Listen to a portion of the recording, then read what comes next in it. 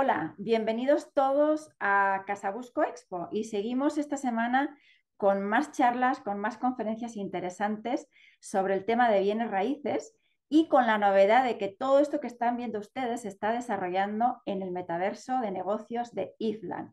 Y hoy, como no podía ser menos, tenemos a una persona sumamente interesante y estrechamente vinculada a Island. Tanto es así que él es cofundador y CFO de Island Metaverse. Además, es una persona que se ocupa eh, de, maneja el departamento legal, financiero y una persona muy conocida por impulsar todo lo que es el desarrollo en el mercado hispano y además un rostro conocido porque seguro que lo han visto en programas, shows y noticieros en la televisión de Estados Unidos. Él es Iván Jiménez. Iván, bienvenido, ¿cómo estás? Bien, Marta, es un honor estar, como te imaginarás, y más con la, lo interesante que es el tema de que Costa Rica, Nicaragua, Latinoamérica está disfrutando de la, fe, la primera feria de bienes raíces en el metaverso. Es un hecho icónico y hasta hablarlo me, me llena de emoción. emociona. Eh, particularmente porque Costa Rica tiene una cercanía eh, a mí, ya que fui el estratega de la primera colocación de una empresa de Centroamérica que se ubicó en la Bolsa de Valores americana y le fue excepcionalmente bien. Entonces.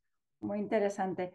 Pues tenemos motivos de sobra para centrar esta conversación efectivamente en las posibilidades de inversión inmobiliaria que nos ofrece Costa Rica, que ya de por sí es un destino buscado eh, a la hora, por ejemplo, de, de, llevar a cabo turismo ecológico, pero sí es verdad que Costa Rica se ha convertido en ese destino favorito también de personas de diferente edad que de repente mm, tienen el interés y la intención de mudarse o de buscar residencia o incluso de trasladar su empresa a Costa Rica. ¿A qué se debe un poquito todo este auge, Iván? ¿Qué nos puedes decir al respecto? Claro, Costa Rica, primero hay que entender que tiene una gran ventaja y es la estabilidad jurídica tradicional. Es una democracia con transición de mando de más de 50 años, mientras Latinoamérica estaba, diríamos, en una caldera de revoluciones y dictaduras, Costa Rica disfrutaba de un clima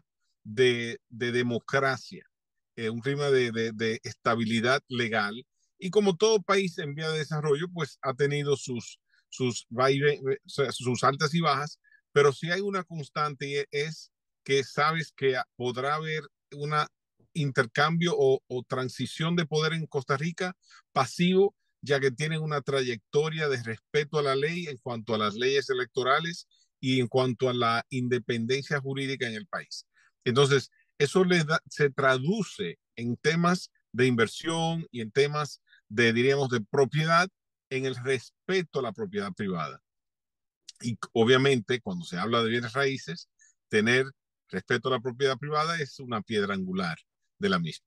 Definitivamente, me imagino que es un poquito el, sentir cuando toda esa población de jubilados, de personas ya retiradas, eh, no solo en Estados Unidos, sino incluso europeos, se plantean de repente, mm, bueno, Costa Rica puede ser el lugar donde yo me retire, compre esa residencia y pase estos últimos años de mi vida, ¿no? Eh, ¿Qué otros factores hacen que esa persona en Estados Unidos y Europa elija Costa Rica para retirarse?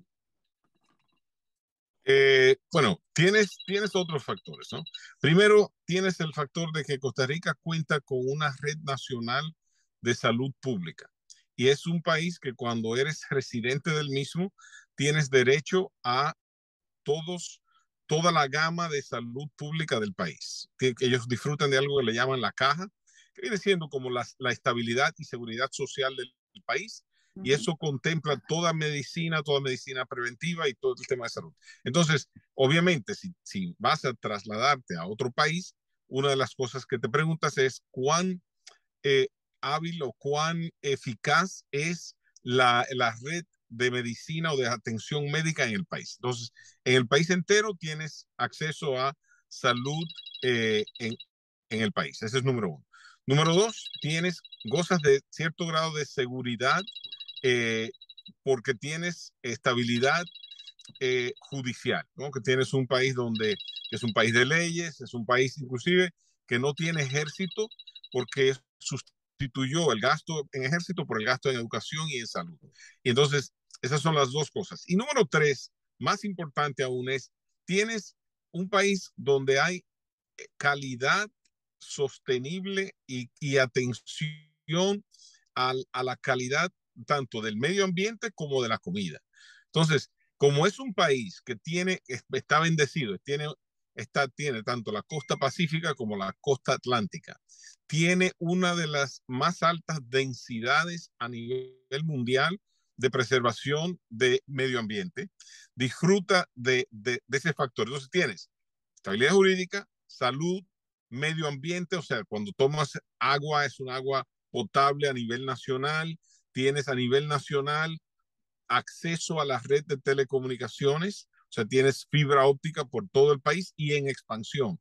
Y en ese sentido goza tanto de una conexión, tanto en el Atlántico a las vías submarinas de, fibra óptica como en el Pacífico, sin contar las, las, las, redes celulares. Vuelvo y digo, es un país en vía de desarrollo, todavía le falta crecimiento, pero tiene un factor y es que la población tiene educación pública y acceso a la misma.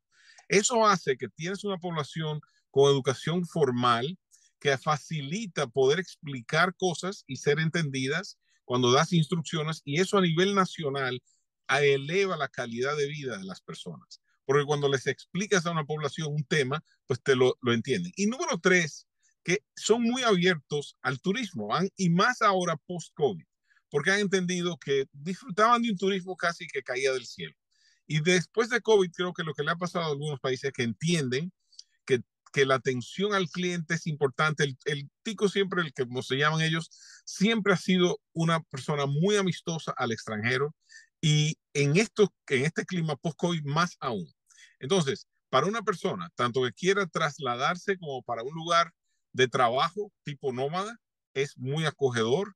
Y para aquellas personas que quieren retirarse y tener un hogar ya en, en los casos de su vida, también es un buen lugar porque tienes buen clima, tienes proximidad inclusive a los Estados Unidos, para los que son americanos, donde puedes viajar y entrar a Estados Unidos con poco tiempo y sobre todo eh, el hecho de que, vuelvo y digo, el, la atención al medio ambiente es prioritario en el país. De tal modo que, por ejemplo, fueron los pioneros en prohibir las, los absorbentes plásticos. Son ya eh, como nación han prohibido o no están trasladando a los todos los automóviles públicos que sean no contaminantes al medio ambiente.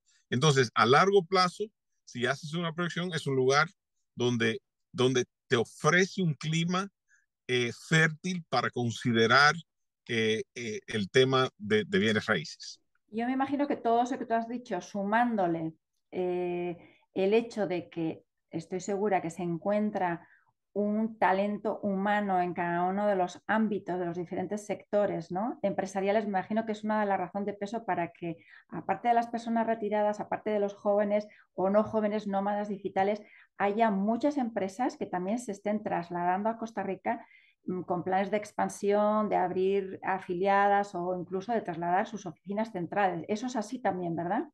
Total, entonces goza por ese nivel de educación base y superior goza de un clima fértil, un ambiente fértil para tener talentos de productos de valor agregado.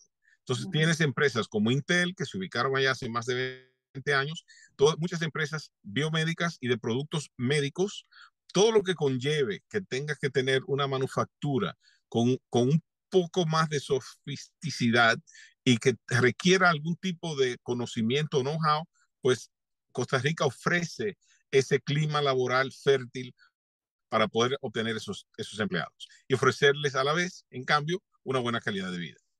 ¿Qué opinas del incremento que se está produciendo eh, a nivel global, pero específicamente también en Costa Rica, en las plataformas eh, como Airbnb, donde de repente se han expandido y hay una demanda y una oferta increíble, y es otro de las áreas dentro de bienes raíces que está eh, proliferando. Eh, ¿cuál, es, ¿Cuál es el fenómeno detrás de todo esto también? Claro.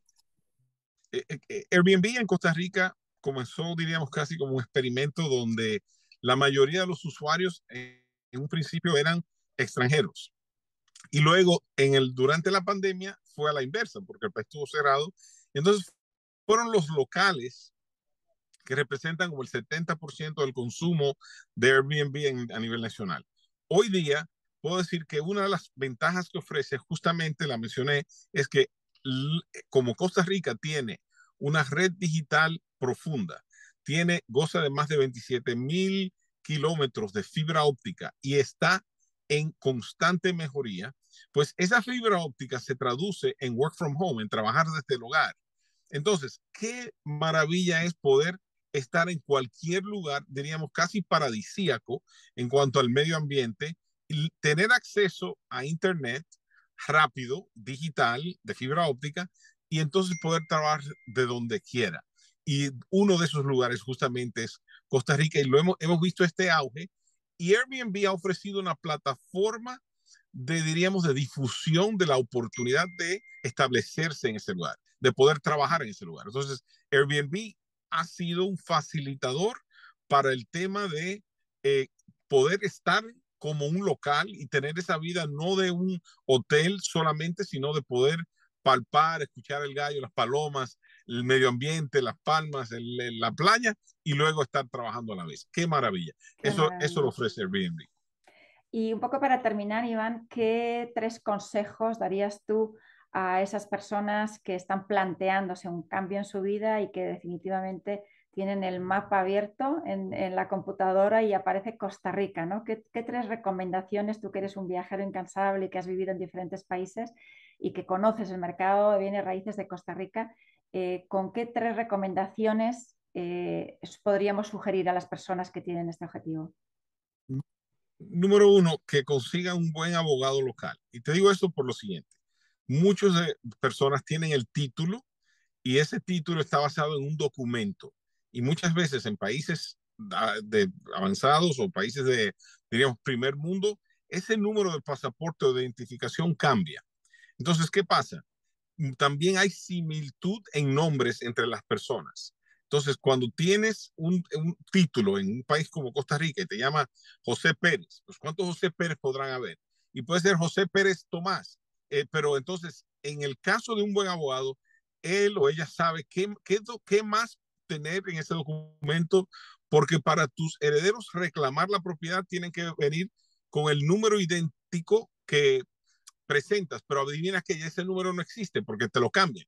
Entonces, tener ese abogado te va a proteger porque hay una forma de modular esa titulación para que no haya problema de, herencia. Ese es número uno.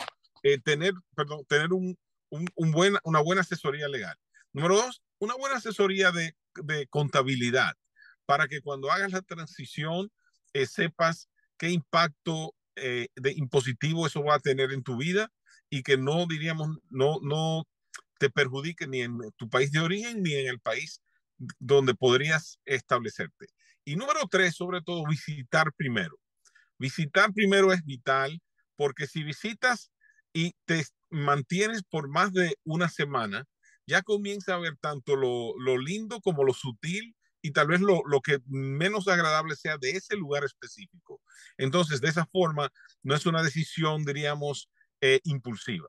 Entonces, son las tres. Buena asesoría legal, una asesoría contable y sobre todo tomarse el tiempo y abrir la mente. Y, pero sobre todo, disfrutar cada uno de esos pasos.